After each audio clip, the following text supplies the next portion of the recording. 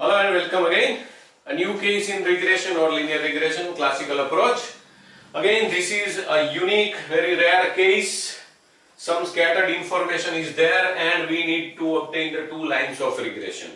The information available is sigma y minus 5 equals to sigma x sigma x plus 2 whole square equals to 480 sigma y square that means sy square that means variance of y is 5 sigma xy equals to sigma y square minus 5 sigma y n equals to 4 y bar equals to 13 we are well aware that to obtain the two lines of regression we should have four things.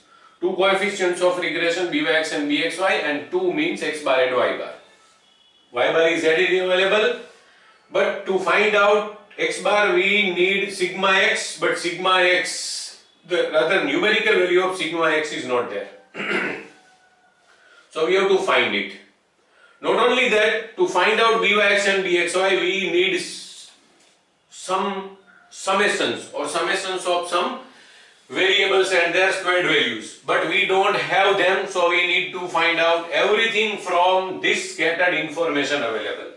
Let's do it and let's start with the easiest possible thing and that is to find out sigma y from y bar because we shall need sigma y to find out sigma x from the first information. Y bar sigma y upon n. That means n into y bar will be equivalent to sigma y. That means 4 into 13 equals to sigma y. And that means sigma y is 52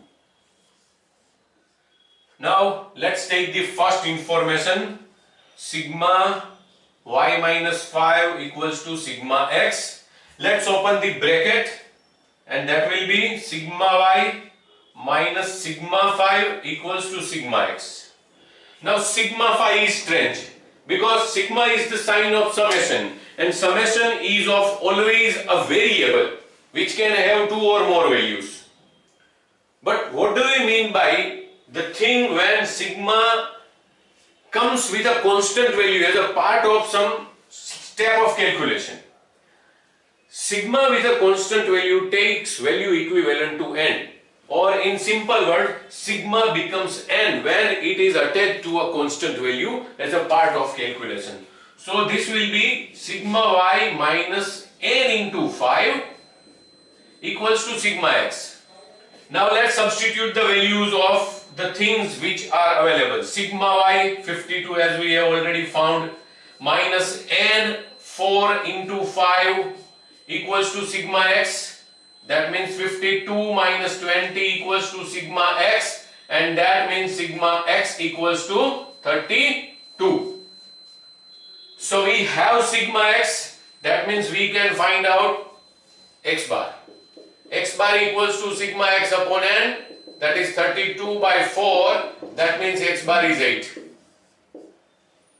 So now we have y bar x bar sigma x sigma y we still need to find out sigma xy, sigma x square and sigma y square from the remaining information available. The second information available is sigma x plus 2 the whole square equals to 480. Let us expand the bracket first. It will be sigma x square 2 square into x that means plus 4x and 2 square plus 4 equals to 480. Now let's open the bracket. Sigma with x square will be sigma x square plus sigma into 4x plus sigma into 4 equals to 480. So it will be sigma x square. Now sigma will go with x that means plus 4 into sigma x plus sigma with a constant value becomes n, n into 4 equals to 480. Now let's substitute the available values. Sigma x square is not available, it is missing. Plus 4 into sigma x means 4 into 32. Plus n means 4 into 4 equals to 480.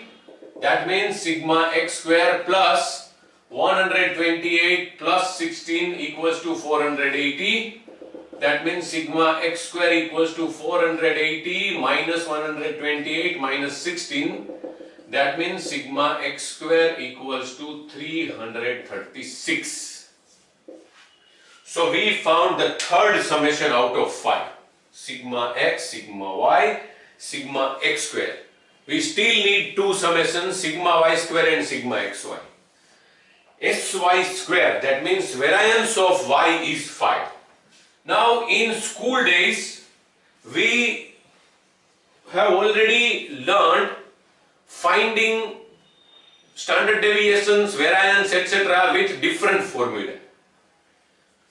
Is there any formula in which we can substitute sigma y square? Yes, there is a formula. variance of y equals to sigma y square upon n minus y bar the whole square. This was or this is called a shortcut formula in which we don't need to take the deviations from mean.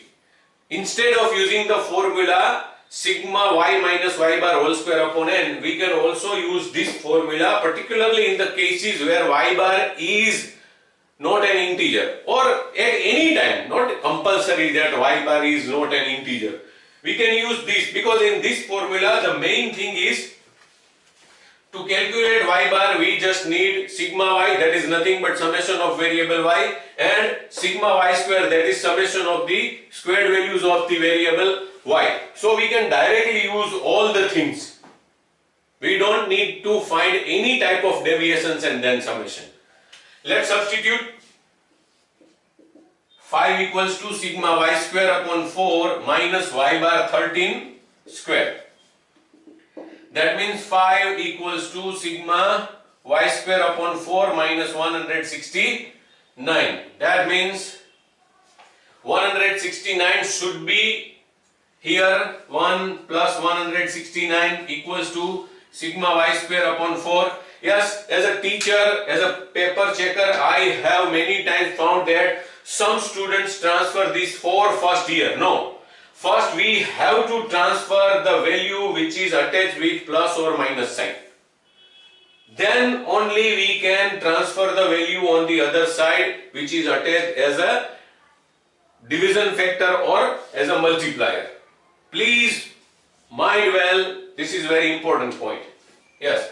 169 plus 5 equals to 174 equals to sigma y square upon 4.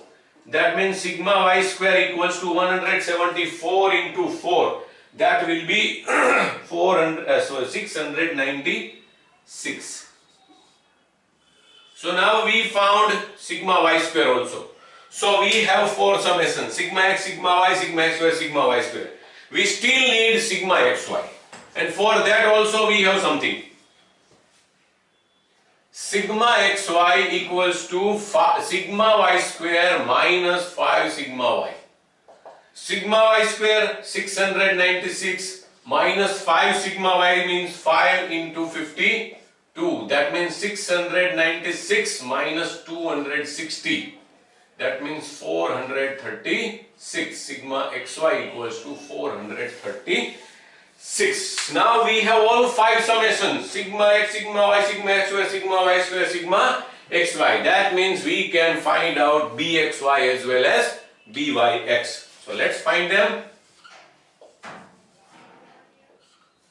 byx equals to n sigma xy minus sigma x into sigma y upon n sigma x square minus sigma x the whole square that is 4 into 436 minus 32 into 52 upon 4 into sigma x square is 336 minus sigma x 32 the whole square.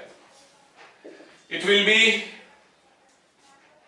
1744 minus 1664 upon 1344 minus 1024. Ultimately it is 80 upon 320. That means Byx equals to 0.25.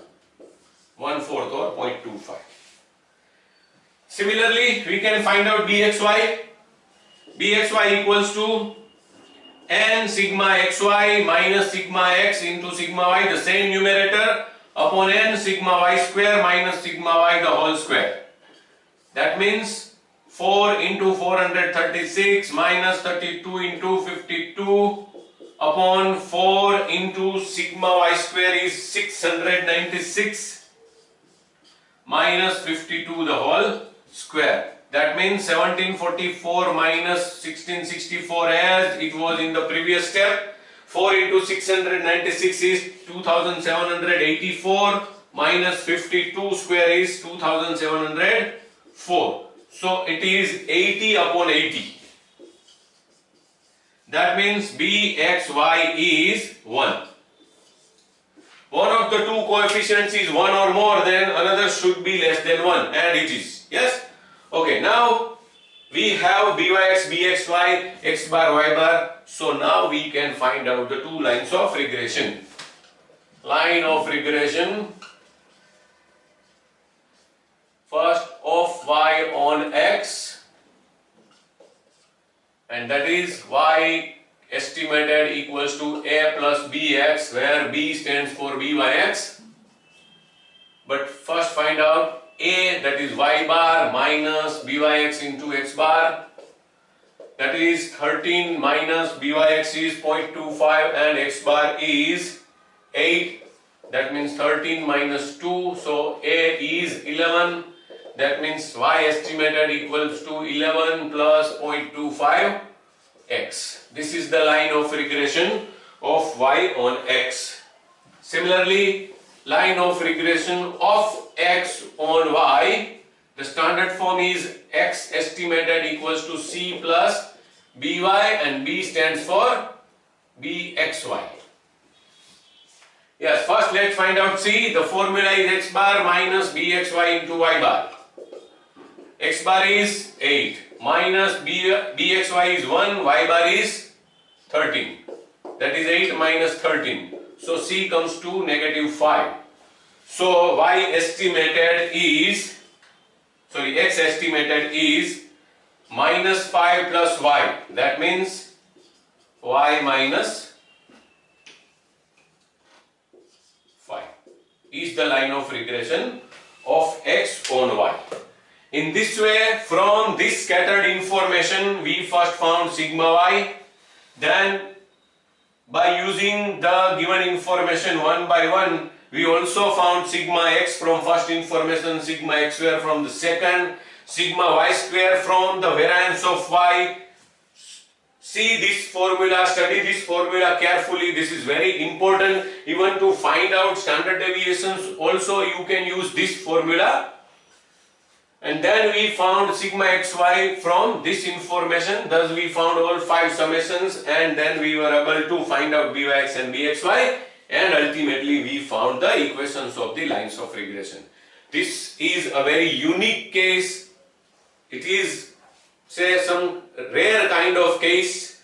So only after studying the whole chapter I advise you to go for this kind of problems. That's it. Thank you very much.